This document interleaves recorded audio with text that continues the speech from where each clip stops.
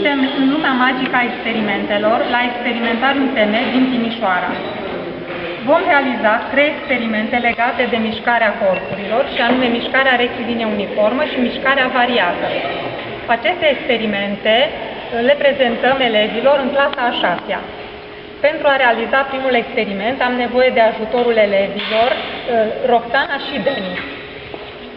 Dispozitivul experimental constă dintr-un tub din plastic în care sunt introduse două șgheaburi, un șgheab din aluminiu și un șgheab din plastic. Cele două laturi ale fiecărui șgheab formează un unghi de 90 de grade. În interiorul tubului avem o bilă, un magnet cu formă de bilă și ne ajutăm de o bilă ca să ținem în poziție, în stare de repaus bila. Începem. Copii, vă rog să fiți pregătiți, da? Să măsurați timpii de trecere a bilei între două perechi de repere. Prima pereche de repere și a doua pereche de repere. Dăm drumul?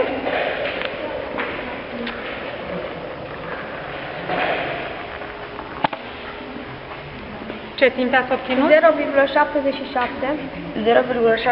0,76 Secunde, da? Bine, mulțumim. Deoarece timpii celor doi elevi au fost identici, ținând cont de faptul că cele două distanțe dintre perechile de repere sunt identice, înseamnă că mișcarea bilei a fost o mișcare rectilinie uniformă. Mișcarea rectilinie uniformă fiind mișcarea în care mobilul parcurge distanțe egale în intervale de timp egale. Dacă modificăm înclinarea tubului, viteza cu care se va deplasa bila va fi diferită. La această înclinare avem această mișcare cu o anumită viteză.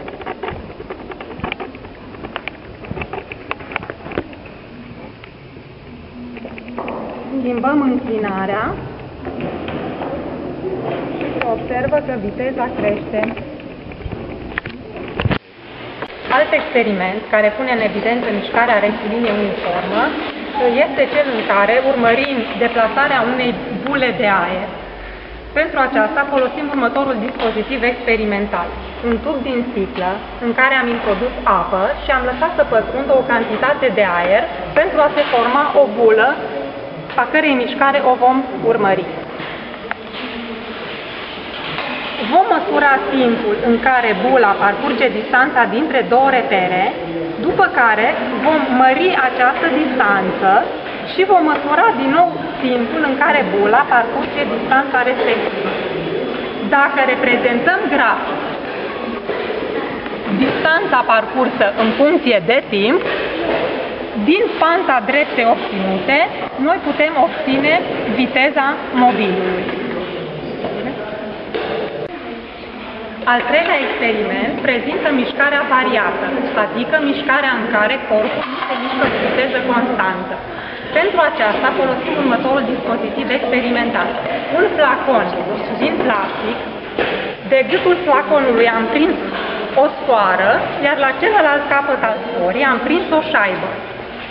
Așezăm bidonul în așa fel încât firul să fie perfect întins. Oare ce se va întâmpla cu bidonul? Va ajunge la nivelul solului sau nu? Urmărim. Am constatat că în prima parte bidonul a avut o viteză din ce în ce mai mare, iar în partea a doua viteza s-a micșorat în momentul în care firul a început să se răsucească pe deget. Tot o mișcare variată putem pune în evidență cu ajutorul următorului dispozitiv experimental. Tubul de plastic în care avem cele două șgheaburi, unul din aluminiu și celălalt din plastic. Pe prima porțiune, unde se află șgheabul din aluminiu, avem o mișcare uniformă, la fel și pe cea de-a doua porțiune, unde avem plastic. Dar, pe ansamblu, mișcarea nu este cu viteză constantă, adică este o mișcare variată.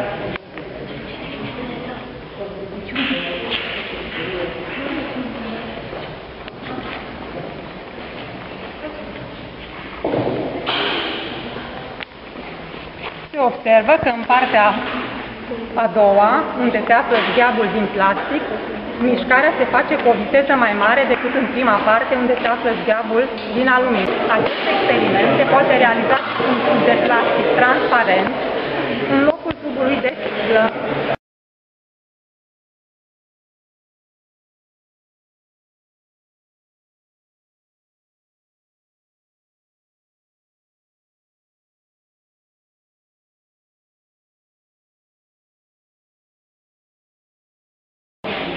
Suntem în lumea magică a experimentelor la Experimentarul UTN din Timișoara.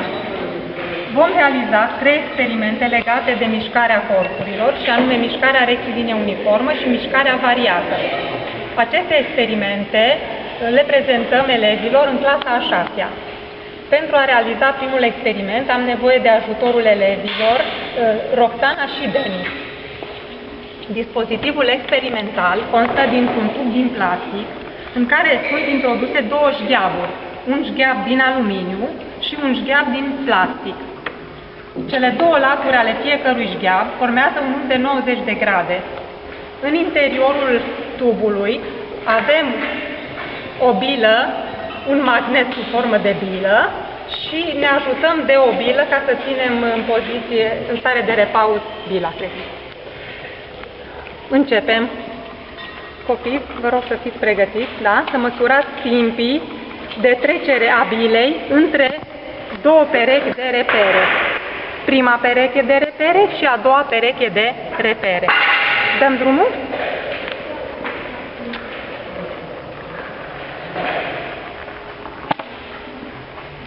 Ce timp ați obținut? 0,77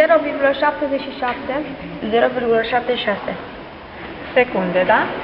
Bine, mulțumim. Deoarece timpii celor doi elevi au fost identici, ținând cont de faptul că cele două distanțe dintre perechile de repere sunt identice, înseamnă că mișcarea bilei a fost o mișcare rectilinie uniformă. Mișcarea rectilinie uniformă fiind mișcarea în care mobilul parcurge distanțe egale în intervale de timp egale. Dacă modificăm înclinarea tubului, viteza cu care se va deplasa bila va fi diferită. La această înclinare avem această mișcare cu o anumită viteză.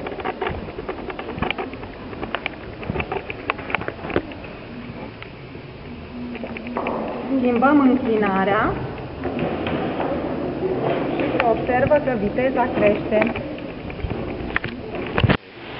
Alt experiment care pune în evidență mișcarea rectilinie uniformă este cel în care urmărim deplasarea unei bule de aer. Pentru aceasta folosim următorul dispozitiv experimental. Un tub din sticlă în care am introdus apă și am lăsat să pătrundă o cantitate de aer pentru a se forma o bulă a cărei mișcare o vom urmări.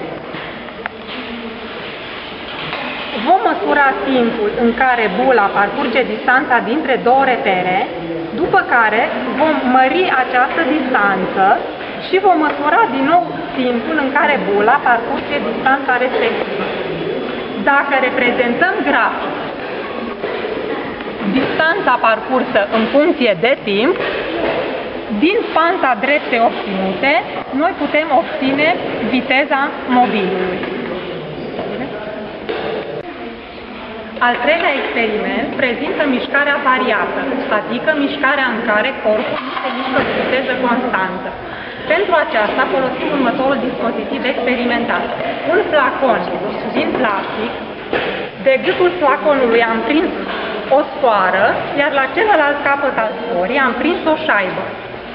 Așezăm bidonul în așa fel încât firul să fie perfect întins. Oare ce se va întâmpla cu bidonul? Va ajunge la nivelul solului sau nu? Urmărim.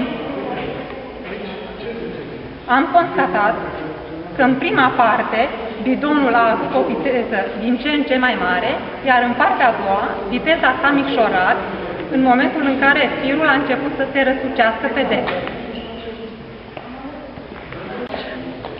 Tot o mișcare variată putem pune în evidență cu ajutorul următorului dispozitiv experimental. tubul de plastic în care avem cele două șgheaburi, unul din aluminiu și celălalt din plastic. Pe prima porțiune, unde se află șgheabul din aluminiu, avem o mișcare uniformă, la fel și pe cea de-a doua porțiune, unde avem plastic. Dar, pe ansamblu, mișcarea nu este cu viteză constantă, adică este o mișcare variată.